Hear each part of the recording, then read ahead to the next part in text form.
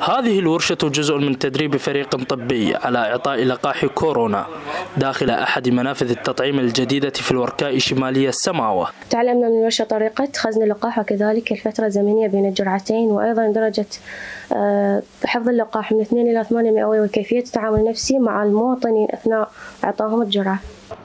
يسكن الوركاء أكثر من مئة ألف شخص بينهم نحو سبعة آلاف تلقوا اللقاح. الجهات الصحية تقول إن المدينة تشهد عزوفا عن التطعيم بفعل تأثير الشائعات النفسية والاجتماعية. تم تلقيح أكثر من 6700 مواطن كجرعة أولى. بالنسبة للهدف المطلوب لم نصل إلى الهدف المطلوب ولا زالت حملات التوعية والتثقيف الصحي لزيادة عدد الملقحين. وسجلت المثنى تلقيح أكثر من 75 ألف شخص بمعدل ألف جرعة يوميا.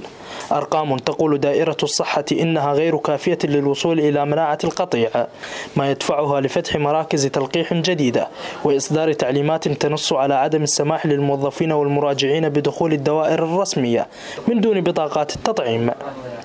يعني المنافذ كانت 32 حاليا توسعنا بعدد منافذ صارت ستة إضافية على مختلف القطاعات اللي استيعاب بالنسبة لسؤالك الثاني لحد الآن بصراحة ما وصلنا لمستوى الطموح اللي نريد مناعة المجتمعية اللي حوالي 300 إلى 350 ألف من نفوس المحافظة.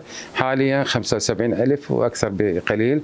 ومع تحذير وزارة الصحة من موجة وباء رابعة لكورونا في الشتاء تحث دوائر صحة المثنى المواطنين على الإسراع بأخذ جرعات اللقاح والتزام إجراءات الوقاية من الإصابة.